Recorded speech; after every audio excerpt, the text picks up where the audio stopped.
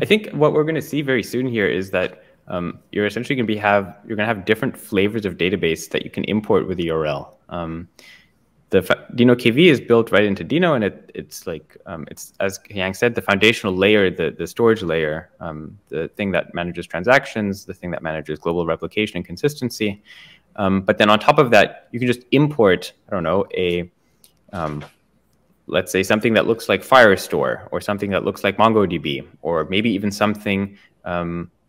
that looks like SQLite or something that looks like a, an, an SQL compatible database um, that is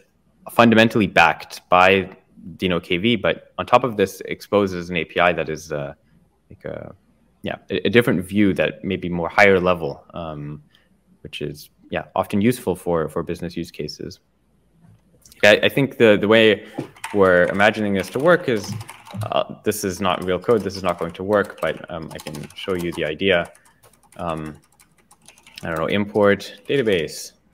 from, I'm not going to put any URL here because otherwise people are going to try to use it. Um,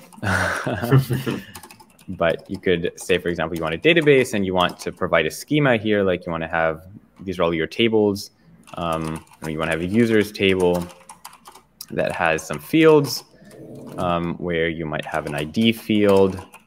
and you might have a name field um, and, and so on and so forth.